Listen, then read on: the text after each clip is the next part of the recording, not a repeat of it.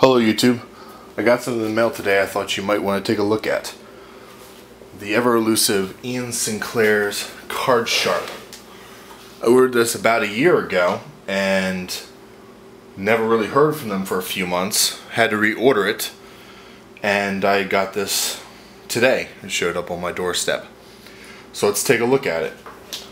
So I already opened it as you can see. Simple package. Got two of them. I originally bought these, one of these for my father for Father's Day last year, or maybe it was Christmas, um, but either way I had to put those off, but Father's Day is just around the corner, so it's perfect timing. One for me, one for him, so we'll put that to the side for him. So pretty nice packaging. Again, I already opened this one, cut it open. So let's take a look.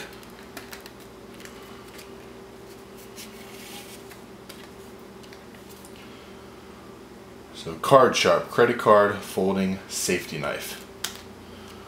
IainSinclair.com. So again, on the, on the net, I am not positive that there are any actually finished photos of this product yet. So I'll make sure I take a few. So we got some uh, writing there I'll be sure to take a picture of. And then we have the CardSharp knife. Let's go ahead and peel it off here. Looks like they used CD-ROM cases. How industrious of them. Alright, so first off, first feeling is it feels very plastic. Ah, the siding is made of plastic and it's pretty flimsy too. That's not cool. Alright, so there's no directions that came with it. Ah, this little sticker. Warning, the tongue, avoid damage. To unlock blade. Alright, so try and figure this out here. Uh-huh.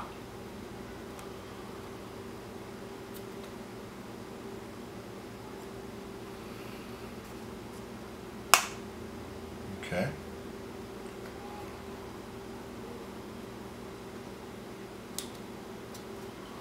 Again, this feels very cheesy.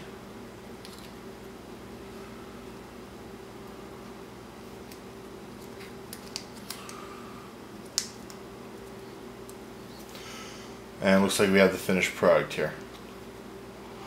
The handle is made of plastic. The blade is metal. I got the black blade. So it's bending plastic around. I could see that not going well after a while. I could see it probably keeping its shape after a while too.